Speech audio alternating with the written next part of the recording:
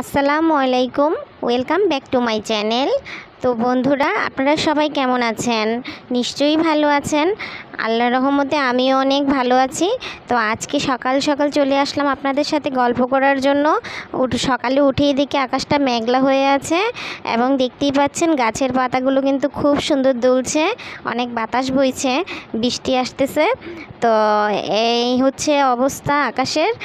আর হচ্ছে আমি সকালের নাস্তা বানাতে এসে দেখি যে চুলায় একদম গ্যাস কমে গেছে, তো চিন্তা করতেছি যে রুটি বা পরোটা কিছুই বানানো যাবে না, কি করা যায়? তো আমাদের দেশের একটি আঞ্চলিক খাবার আছে, সেটা হচ্ছে ওখানে বলা হয় যে এটা চাপটি। তো যাই হোক, জানি না এই নামের সাথে আপনারা সবাই পরিচিত কিনা। তো আমি একটি বাটিতে ময়দা নিয়ে নিয়েছি, লবণ নিয়ে নিয়েছি, তারপর হচ্ছে একটি কাপে পানি নিয়ে নিয়েছি। তো এখন হচ্ছে আমি এটি একসাথে ডো বানিয়ে তারপরে হচ্ছে আমি এটি রুটির মতো করে ভেজে নেব। তো দেখা যাক বন্ধুরা কীভাবে আমি সেটা করছি, দেখাচ্ছি। প্রথমে একটি খালি বাটিতে আমি ময়দাগুলো ঢেলে দিয়েছি। তারপরে এতে সামান্য পরিমাণ স্বাদ মতো লবণ দিয়ে দিচ্ছি। তো এখন বন্ধুরা, আমি হচ্ছে এখানে এখন একদম নর্মাল পানি ব্যবহার করব। তো এখন আমি পরিমাণ মতো নর্মাল পানি দিয়ে দিচ্ছি। এখন কাটা চামচের সাহায্যে আমি এটি ভালো করে মিশিয়ে নেব। তো বন্ধুরা দেখতেই পাচ্ছেন যদিও জানি না এটা সব জায়গায় প্রচলন কি না তো আজকে অবশ্য চুলায় গ্যাস নেই, তাই ভাবলাম যে শর্টকাটের মধ্যে এটাই করে নেই। তো এখন হচ্ছে আমি এটিতে আস্তে আস্তে আরও পানি অ্যাড করব আর মিশিয়ে নেব। একসাথে সবটা পানি দিয়ে দিব না, কারণ সবটা পানি দিয়ে দিলে হয়তো ডোটা জট বেঁধে থাকতে পারে, তাই আমি পরিমাণ মতো আস্তে আস্তে করে পানি মিশিয়ে নেব।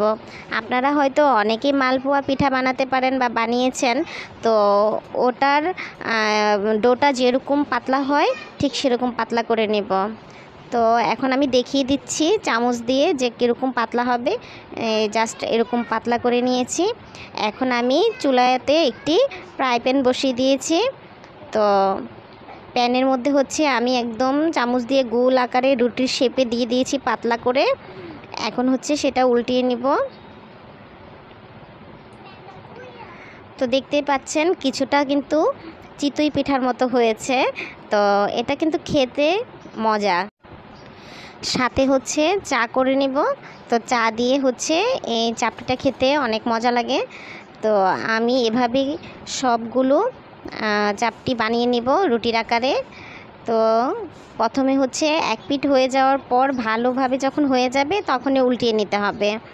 আর যদি কাঁচা থেকে যায় তাহলে কিন্তু এটা সুন্দর হবে না। অন্য সময় কিন্তু এটি সুন্দরভাবে ফুলে রুটির মতো।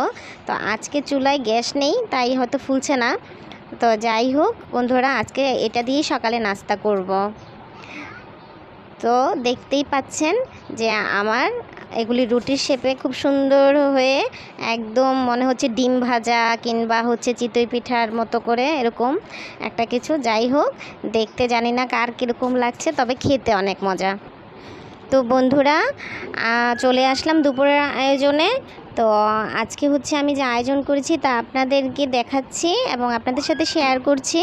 এখানে হচ্ছে আমি ভাজা সিমের বিচি নিয়েছি এবং আলু নিয়েছি সেই সাথে এবং হচ্ছে সেটা প্রথমে আমি সিদ্ধ করে নেব। তো ভাজা সিমের বিচি এবং আলু লবণ দিয়ে, পানি দিয়ে একসাথে বসিয়ে ঢেকে নিয়ে, ঢেকে দিয়েছি। তো এটাই হচ্ছে প্রথমে আগে সিদ্ধ করে নেব। তারপরে পাশাপাশি হচ্ছে আমি বেগুন কেটে নিয়েছি। তো সুন্দর করে বেগুনগুলো কেটে নিয়ে পানিতে ভিজিয়ে রেখেছি যেন কালো পানিটা চলে যায়। আর হচ্ছে পেঁয়াজ কুচি নিয়েছি এক বাটি। পাশেই নিয়েছি হচ্ছে শুটকি। তো এটা হচ্ছে শীতল শুটকি। তো অনেকেই এটা পছন্দ করেন। আমরা যেহেতু বাঙালি, আমরা সবাই শুটকি খেতে ভালোবাসি। তো সেই সাথে হচ্ছে আমার সিদ্ধ করা আলু এবং সিমের বিচি সিদ্ধ করার পর দেখেন রঙটা কীরকম চেঞ্জ হয়ে গেছে। তো এখন হচ্ছে চুলোতে আমি একটি হাঁড়ি বসিয়ে দিয়েছি। হাঁড়িটি গরম হয়ে গেলে আমি এখানে তেল ব্যবহার করব সামান্য পরিমাণ। তো এখন হচ্ছে তেল দিয়ে দিচ্ছি। অল্প পরিমাণ তেল দিয়েছি কারণ শুটকিতে বেশি তেল দেব না। এখন হচ্ছে আমি গরম তেলে পেঁয়াজ কুচি দিয়েছি। তো পেঁয়াজটা ভালো করে ভেজে নিচ্ছি। তো বন্ধুরা, পেঁয়াজটা ভাজা অবস্থায় আমি একটু লবণ দিয়ে দিচ্ছি। তো পেঁয়াজটা ভাজা হয়ে গেছে, এখন আমি পরিমাণ মতো পানি দিয়েছি। তো যাই হোক, এখন হচ্ছে দিয়ে দিচ্ছি এক টেবিল চামচ রসুন বাটা, গুঁড়ো হলুদ, পরিমাণ মতো মরিচ তো যারা ঝাল খেতে একটু বেশি ভালোবাসেন, তারা মরিচটা একটু বেশি দিবেন। তো আমি একটু মরিচ বেশি ব্যবহার করেছি। এখন হচ্ছে ভালো করে কষিয়ে নেব। তো কষানো অবস্থায় আমি হচ্ছে শুটকু শুটকিগুলো দিয়ে দিচ্ছি। তো এখন হচ্ছে শুটকি দেওয়ার পর আমি কিছুক্ষণ ঢেকে সেটি ভালো করে কষিয়ে নেব, যেন শুটকির গ্রানটা বের বাহিরে বের হয়ে না যায়। তো বন্ধুরা দেখতেই পাচ্ছেন কষানো হচ্ছে, তো আমার কষানো প্রায় শেষ হয়ে এসেছে। তো এখন হচ্ছে আমি সিদ্ধ করা যে সিমের বিচি এবং আলু ছিল, সেগুলো অ্যাড করে দিচ্ছি। তো সবগুলো ভালোভাবে মিশিয়ে নেব এবং আরও কিছুক্ষণ কষিয়ে নেব। তো কষানো অবস্থায় আমি আরেকটি কাজ করব, সেটি হচ্ছে আমি কেটে রাখা বেগুনগুলো পানিতে ভিজিয়ে রেখেছিলাম, তো সেই বেগুনগুলো হচ্ছে আমি পানি থেকে উঠিয়ে নেব। তো পানি থেকে উঠিয়ে নিচ্ছি। এখন হচ্ছে উঠানো বেগুনগুলো আমি যে কষানো তরকারিটা ছিল তাতে ঢেলে দিব। বেগুন দেওয়ার পর আমি আরও কিছুক্ষণ এটা ভালোভাবে কষিয়ে নেব। তো বন্ধুরা দেখতেই পাচ্ছেন শুটকি তরকারিটা হচ্ছে কষিয়ে রান্না করলে একরকম স্বাদ, আবার সাজিয়ে রান্না করলেও আরেক রকম স্বাদ। তো আমি আজকে কষিয়ে রান্না করছি। তো আপনারা বাসায় ট্রাই করে দেখতে পারেন যে এভাবে শুটকি তরকারি রাঁধলে কেমন লাগে।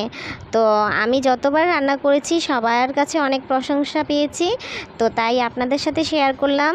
এভাবে সবাই রেডি দেখবেন যে আসলে শুটকি তরকারিটা কেমন হয়। তো দর্শক, আমি এখানে পানি অ্যাড করে দিয়েছি।